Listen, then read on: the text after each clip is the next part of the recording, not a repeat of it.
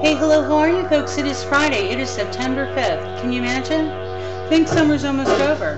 Well, it is, well, yeah, I think we've got a few more weeks, don't we? Anyway, Sante Folk Implosion.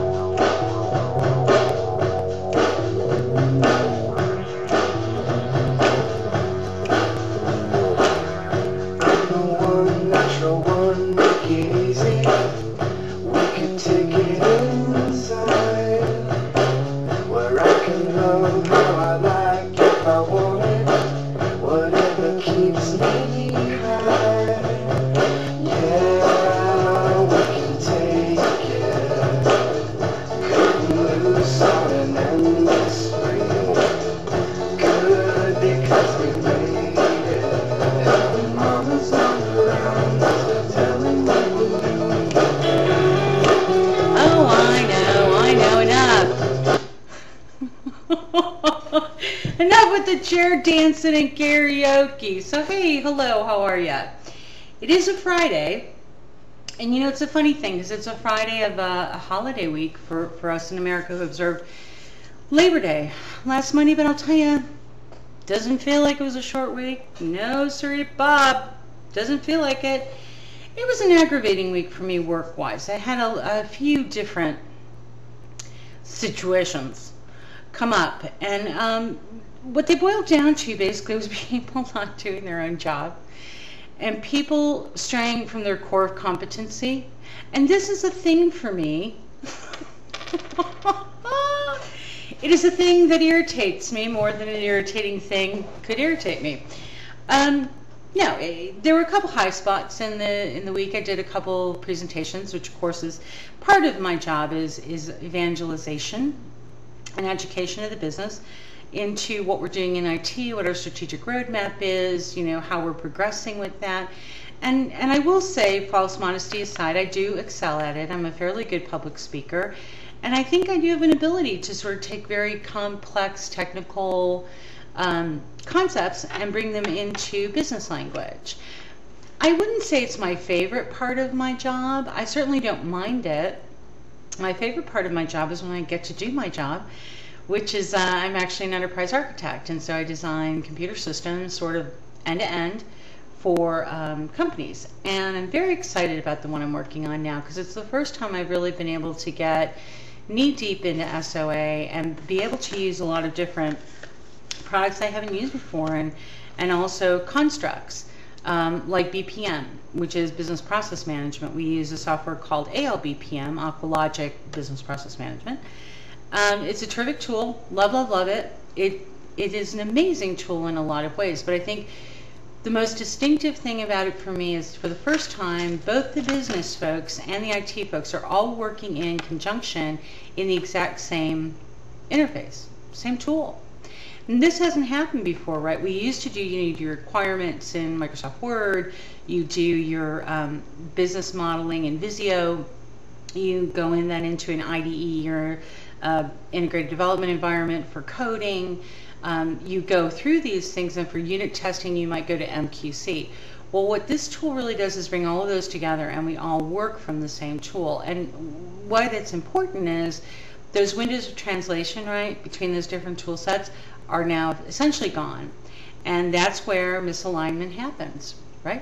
So, anyway, there, it's like you work for my company and you're listening to me babble in one of my presentations. So anyway, yeah, yeah, no, I I like it a lot. Um, today was a good one because after I finished it, one of our um, chief detractors, actually, it's a, a, person who works in my company, and she's relatively new, and she kind of came in with guns blazing, um, very critical, hypercritical of IT. And and why on one hand I say it's really not fair, right? If you haven't been around, you don't know the history, you don't know where we're coming from, how can you be so hypercritical? What are you going on? And it's a tactic, right, that a lot of folks will use, and, and I've seen it before in my career. When they're new, if they come in and do that kind of thing, it looks like they're shaking things up, right? Now, I don't know that that was this person's motivation at all. I mean, maybe she really thought, you know, that what she was, you know, purporting was was the appropriate thing. I don't know. Anyway, suffice it to say, this person's not been a fan of IT. And after I finished the presentation, this is the second one that I've done that she's been in, she sent a note to my CIO, which was quite nice, um, saying, you know, how how much she enjoyed the presentation, how impressed she was with me, and blah blah blah blah blah. So that was very nice. So anyway, this little critter, this little critter, this is Flannery O'Connor. This is my my newest my newest part of the brood. Flannery, can you say hello? Say hello, everybody? Hello. She is absolutely a love bug, you know, and I love cats so much. She's my sixth, which is getting a little ridiculous. I mean, I kind of had drawn a line in the sand and said, okay, five was enough, um, especially because one of them was elderly, princess, and sickly. And you know, there's a lot of responsibility. There's, you know, not it's not like you just feed them and clean their litter boxes. I mean, there's lots of responsibility around them, and anyway, I didn't think I was ready for another one. And then someone at work found her and she was a stray. And honest to God, the poor thing, she had worms and fleas and ear mites and just a mess. So I took her. And the fleas were easy to take care of, and the worms too. The ear mites took a little bit longer. That was about a week. Um, but yeah, she's she's hale and hearty, and I think she's going to do just fine. Yes, I do. And she's just such a love bug. Honest to be, I remember um, when Gracie was a kitten, Gracie too was a stray. That I, in fact, all of my my cats now have been adopted from shelters or, or were strays that people gave me. And um, I was, you know, Gracie was such a loving kitty. She was another one like this, always wanting to be up on you and purring nonstop. And um, Bridie was a little bit different, and I don't know if that was because Bridie was a feral. She's another one of my cats, and it was actually one of the feral um, cats in my colony that I take care of she uh, she was her kitten. Banshee is the feral kitten, and she's fine. She's still around. And um, I don't know if it was because she was a feral kitten that she just didn't seem to bond with me that much. And it was quite a traumatic pairing, actually. She had fallen off the balcony um, where her mother was keeping her um, outside my master bedroom window, and that's Eamon, the shadow you're seeing. Um, and she had fallen in, and it's a two-story house. It was quite a long way for a little three-pound kitten to fall. So anyway, she did have, um, oh, she had a concussion, and they weren't really sure what was wrong with her. They they thought maybe it was a brain injury and she wouldn't survive. And the vet, you know, later kind of, you know, said to me, Dr. McGee, who's who's one of my vets, he said, you know, when I sent her home with you, I really didn't think she was going to live. And that was what he said. He said, I really did not think she was going to live, and so that's why I wanted her to go home with you and not stay here and be alone. But you know, that weekend I brought her home, I got up every hour on the hour and I woke her up and I shined a light in her eyes to check her pupil response and I, um, you know, got her up walking to check her her ability to to walk and her coordination and we made it through that weekend and, and it was all right and she's she's hale and hearty too. She's probably running around here someplace, I would imagine. She's the white cat with with the gray spots on her. She's a Turkish Van. She's she's quite a lovely cat, but I just didn't bond with her quite in the same way. She wasn't the same kind of kitten that that say Gracie and and now of course Flannery are.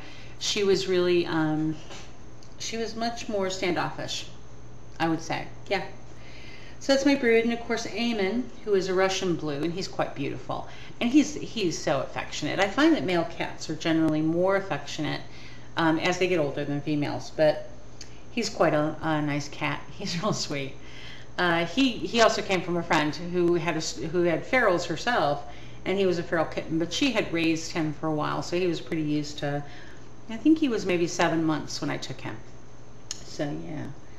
So, of course, Providence is the other cat. She's um, showed up on my doorstep literally one day, hence her name. And uh, Princess I got from a shelter when I lived in New Orleans. So she's been with me quite a while. So yeah, that's the brood, and I am a crazy cat lady, blah, blah, blah, blah, blah. But you know, that kind of stereotype irritates me to know because there's nothing crazy about us, by the way. We just happen to be animal lovers, and we just happen to love cats, you know. Um, but I, I will say that I think the uh, the six is enough. I'm I'm thinking that's enough. You going to sleep, Bubba? Huh?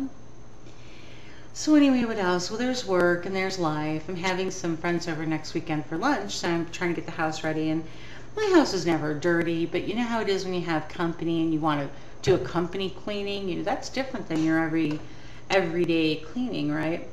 And um, so I uh, I started that actually a couple weeks back, getting things done. It's some major stuff. I had the window washers in, and and I need to. I don't want to do the floors though till next Friday night because of course with with Ripley, who's my my boyfriend Kim's dog. Um, she comes over and, and she's a dog, right? So she tracks in dirt and stuff, and it's okay. I never complain, but I just don't want to do the floors and have her over here and I'm all dirty before my guests come. And I have to have, figure out what to make for lunch. Um, I'm not sure yet. I know my friend Deb is allergic to chocolate, so that's out for any desserts. Uh, and of course, Kim is diabetic, so I do have a recipe for a really great sugar-free cheesecake, uh, low carb too. So I'll probably make that, I think. And then as to the meal, my friend Shell, I'm not sure. Um, I think she was um, a vegetarian, but I don't think she is anymore because I could have sworn the last time I saw her and we went out for dinner, she was eating meat. Right? What's going on, baby? What's going on? So anyway, um, there's that. So I'm getting ready for that next weekend.